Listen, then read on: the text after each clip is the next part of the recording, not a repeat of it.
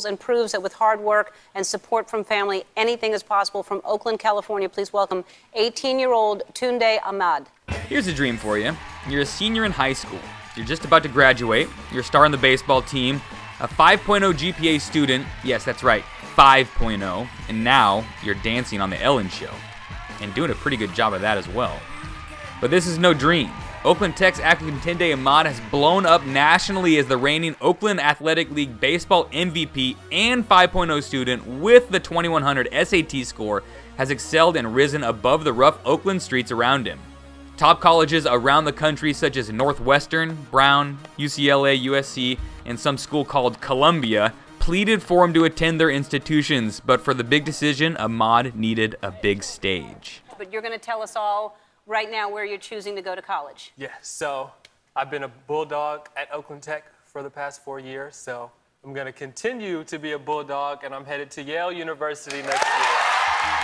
It's kind of like pressure build up because now everybody is looking for me to do good things, but I'm, I'm ready for it. I'm embracing it. Um, you know, just hoping at the next level I can continue to, to stay on the same path that I've been on. And that path is chock full of extracurricular activities, high scores, and huge stats. Last year, Tunde hit 500 on the diamond with 15 steals. He's part of the Young Musicians Choral Orchestra. Did I mention that he has a 5.0 GPA? Oh, and he plays the trumpet and French horn. How does one get so much done? Time management is the biggest thing. It helps actually to stay busy, so you just know you don't have time to procrastinate. You go from one thing to the next. Akintunde's spirit rubs off on everyone. He's constantly shaking hands and saying hey to everybody who passes. Everyone feels close to Tunde, like they're part of his story. And they're proud he's part of the Oakland fabric that makes this area so special.